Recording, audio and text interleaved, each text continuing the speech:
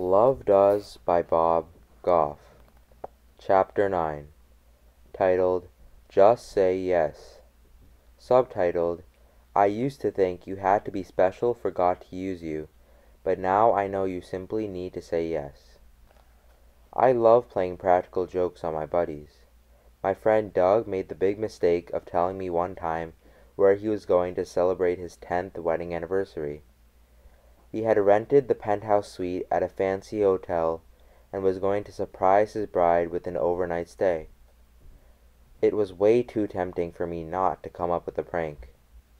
A few days later, Sweet Maria and I went to the fancy hotel and checked in as if we were Doug and his wife. I walked up to the clerk at the front desk and confidently said that I was Doug and wanted to know if our room was ready. The room was prepaid, so they tossed me the room key and asked me if there was anything they could do for me. I told them there indeed was, and I'd be calling down from the room soon. I had a list. Sweet Maria and I skipped to the elevator that rocketed us to the top floor of the hotel to a huge pair of doors. We each grabbed a handle and turned at the same time we were greeted by a magnificent room, the kind that a professional interior decorator had dressed from top to bottom. On the far side of the room was a wall of windows with a stunning view of the city on one side and the bay on the other. It was a spectac- spectacular view, and the room was enormous. I think it must have had its own zip code. I picked up the phone which went straight to the front desk, and we ordered room service. We had lobster for, our, for the first course. For dinner, lightly sauteed vegetables over rice and salmon. For dessert, actually, I'm not sure what the dessert was, but the tableside server set it on fire. It was so cool we ordered seconds. We turned on some beautiful music and danced. We laughed.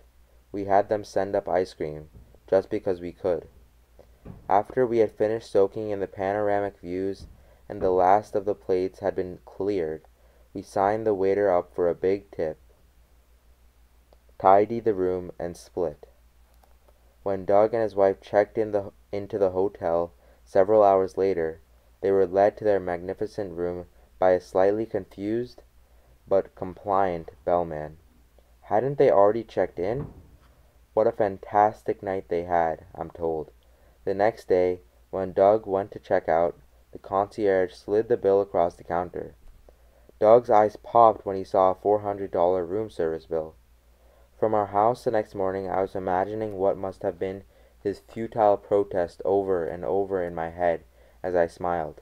Hey, wait! I didn't order room service. I didn't order seconds. Extra ice cream? I would never leave a tip this big.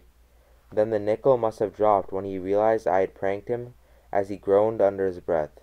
Bob. Doug's been trying to get back at me for years, but he can't, because I'm a lawyer. You don't get into and through law school like I did without gaining a few street smarts. A few years later, however, I received a phone call from a fellow who introduced himself through a heavy accent as the ambassador from Uganda. I immediately thought, yeah, right, and you have my home phone number? I knew it had to be Doug or someone he put up to the task. I listened intently as the caller spoke, and I played along. So, Bob, I'm aware of what you have been doing in Uganda over the past several years with the children in the jails and with the judiciary. I'm very pleased and want to thank you on behalf of the President. In fact, I'm so pleased that I want to know if you would consider something. I couldn't wait to hear what Doug had cooked up. I want to know if you will be counsel for the Republic of Uganda. Counsel? I thought. Uganda needs a lawyer? Why? Does someone owe them money?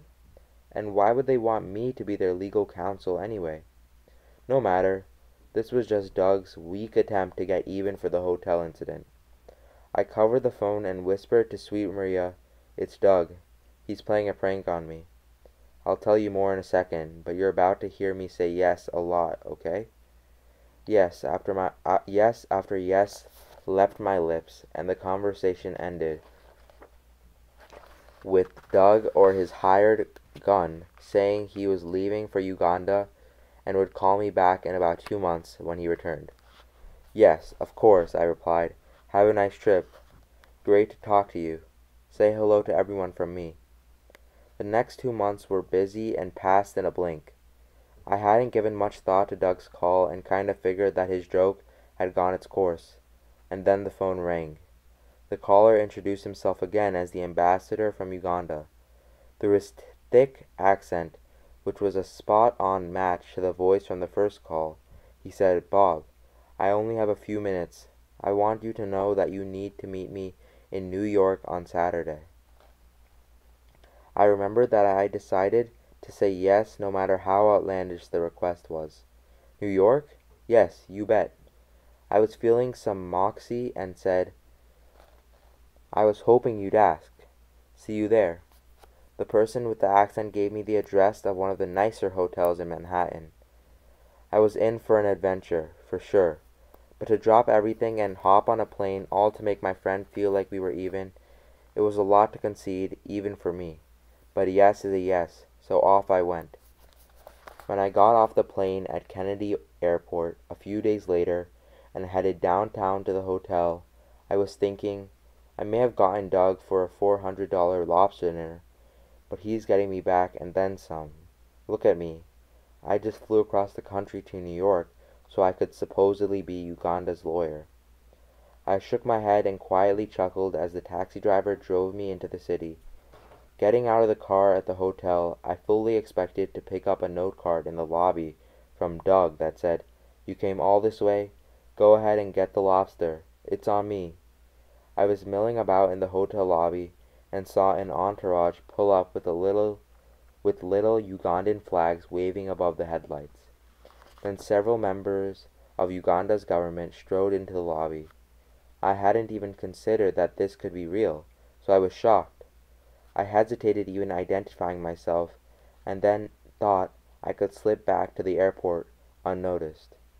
Ambassador Kamunanwire came bouncing up. I'm Ambassador Kamunini Wire. Of course you are, I replied as I gave him a hug. The ambassador was a jolly, brilliant, and affable man who looked to be in his late fifties. He had a heavy yet wonderfully British accent, as do most Ugandans. He isn't the kind of guy who walks, he gallops. He has the swagger of a high school quarterback and the smile of a pastor.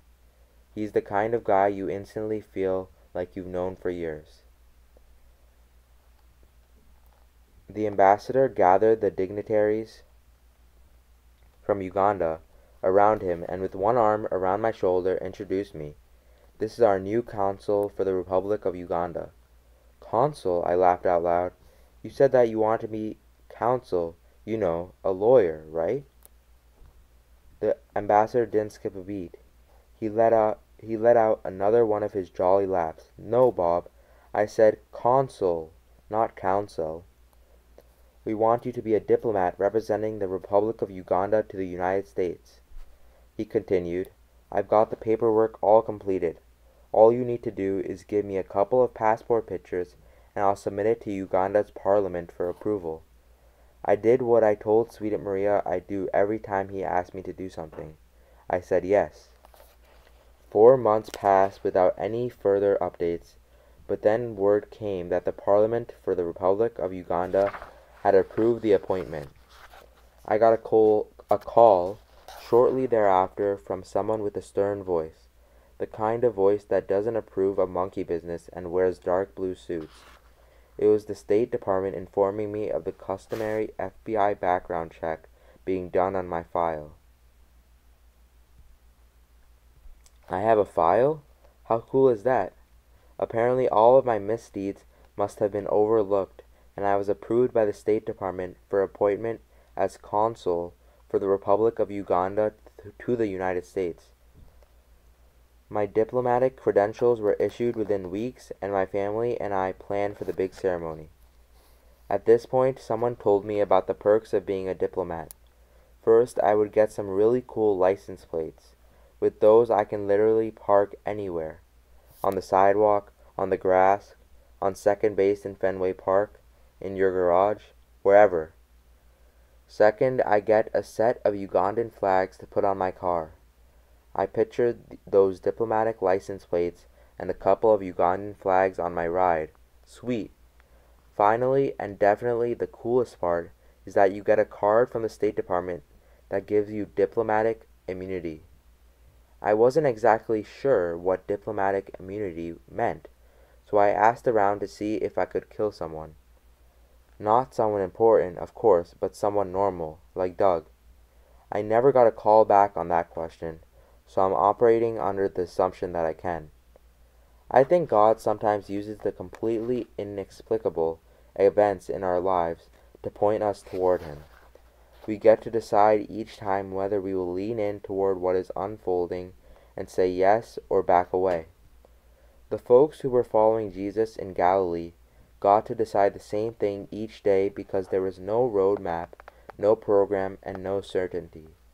All they had was this person, an idea, and an invitation to come and see. I like the passage in Scripture where God chooses Moses to lead. Moses puts up a fight, saying nobody will follow him. God gives him three miracles to perform to establish confidence with his audience, but Moses protests again, saying he stutters and can't speak, and asks God to please choose somebody else. When Moses protests yet again, God gets a little angry and instructs Moses to take Aaron with him. I don't think it was because Moses needed Aaron, but because Moses mistakenly thought he had to be somebody important in order to be part of what God was going to do. I can relate. I'm the guy checking into my buddy's room to spend a bunch of his money on room service. Then I'm the guy who thinks he's being pranked. Then I'm the guy who thinks he's being asked to be a lawyer when he's really being asked to be a diplomat. Then I'm the guy who's sticking Ugandan flags on his car. Am I the right guy? I don't know, but I'm the guy being asked, and the last thing I want to do is miss an opportunity or make God mad, so I just keep saying yes. Maybe God is doing some inexplicable things in your life. Each of us gets to decide every time whether to lean in or step back, to say yes, ignore it, or tell God why he has the wrong person. There's this beautiful story in the Bible about a guy named Joseph that a friend of mine named Don tells all the time. The story of Joseph has more turns in it than a mountain road in Colorado. It's an emotional roller coaster, but it ends up with Joseph being second in command in Egypt. And twice at the end of the book, Joseph says that the reason God put him where he did was to save many lives. And if you think about it, the reason God chose Moses was to save many lives.